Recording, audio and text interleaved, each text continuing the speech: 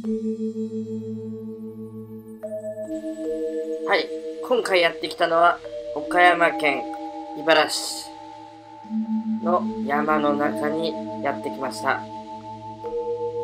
そのね、山の中に気になったお家を発見しました。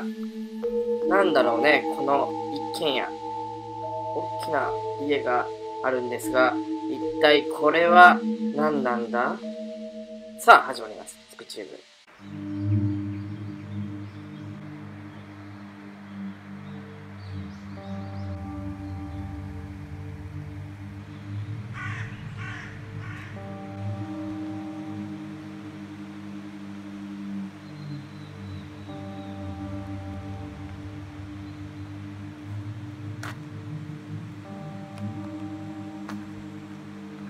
はい、皆さんこんにちは。えー、っとですね、茨の方に今ね来てんですが、なんでも料亭の廃屋があるということで行ってみようかなと思います。もちろん入っちゃあかんので捕まっちゃうんで、外側からでもねちょっとね見てみようかなと思ってます。それではねちょっと行ってきます。はい、強盗機監視中ということしたらね谷になってて川がね流れてまさに料亭としてはベストな場所じゃないのかなと思います。ください。こうもみじとかあったりとかねこの料亭がのために作ったのようなもみじなのかな。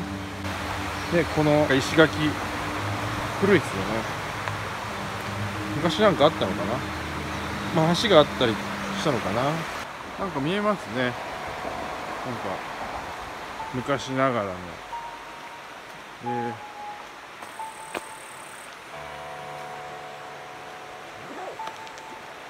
いいね。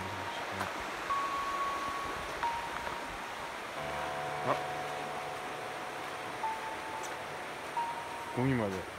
いいかけの。えー、すごこれがえー、こういうのあるんですね。屋根が、えー、崩れてますね。崩れたり、えー、もうすでに食が進んでるところもねありますね。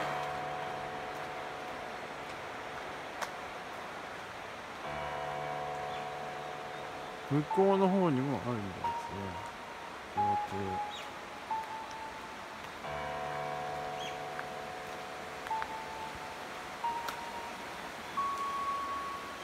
はい、これより先立ち入り禁止。はい。こんなね感じになってます。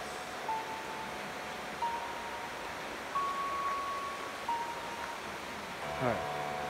こんな倒れてる。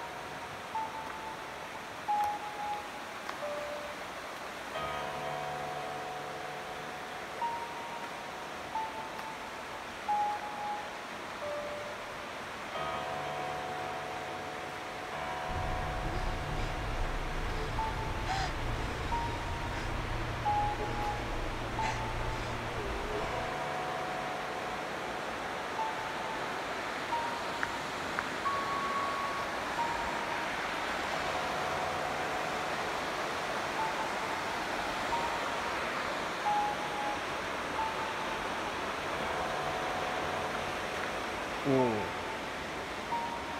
これから登るいうことかな。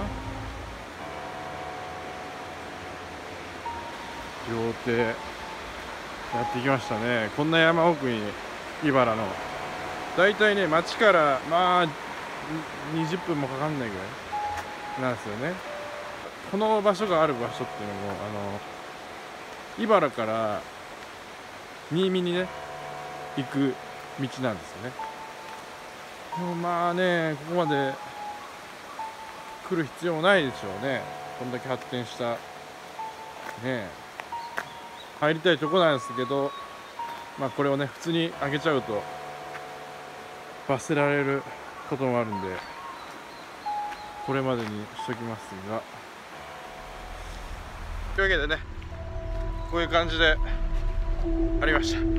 なんかあんまり納得いかなかった感じかもしれないですけどまあおそらくね昭和ぐらいにできたのかな。できて平成ぐらい盛んにやってだけどまあ2000年経つぐらいには潰れちゃったのかな。はい。いうわけでね今日はこれで締めます。はい。それではまたねスピチューブチャンネル登録よろしくお願いします。はい。ありがとうございました。